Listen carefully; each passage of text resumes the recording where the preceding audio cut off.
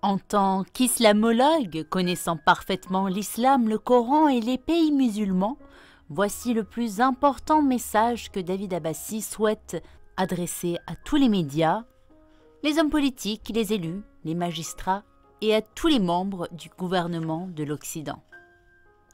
Depuis toujours, nous avons entendu des propos incorrects, affirmant que l'islam n'est pas négatif et que seulement certains des musulmans sont intégristes. Fausses paroles et falsifications. Comment les individus deviennent-ils intégristes?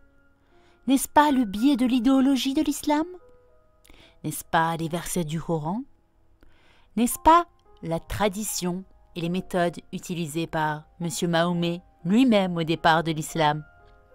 Aujourd'hui, regardez les grands chefs de toutes les tendances musulmanes, imams, muftis, enseignants, qu'elles soient sunnites, Zargavi et ses fidèles, chiites, Khomeini et ses fidèles, wahhabistes, les actes en Arabie Saoudite et Ben Laden dans le monde, ou alaouites, les actes en Syrie ou au Liban. Et tous les actes terroristes djihadistes que nous constatons tous les jours en Afrique, Pakistan, Afghanistan, Irak, Israël, Angleterre, sont dirigés par les grands savants de l'islam, qui sont capables de fabriquer et transformer un médecin, un ingénieur, un professeur, un pilote musulman en un assassin kamikaze qui tue des personnes innocentes.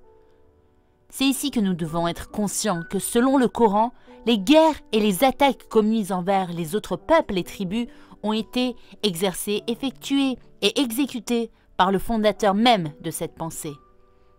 Alors, la religion et l'idéologie islamique peut-elle être discutable? Si les individus musulmans sont éclairés par la vérité de ce qui s'est passé dans l'histoire première, nous pouvons sauver les musulmans, mais pas l'islam politique. L'islam ne voit pas. L'islam ne se touche pas. Il est emprisonné par les chefs intégristes. Mais si les musulmans connaissaient la vie réelle de M. Mahomet, ainsi que ses actes lors de la deuxième et la troisième partie de sa vie que nous expliquons dans ce livre, ces musulmans, comme plusieurs millions de gens, vont devenir d'ex-musulmans et vont commencer à éclairer les autres en ayant une pensée critique sur cette religion. Voici certains ex-musulmans.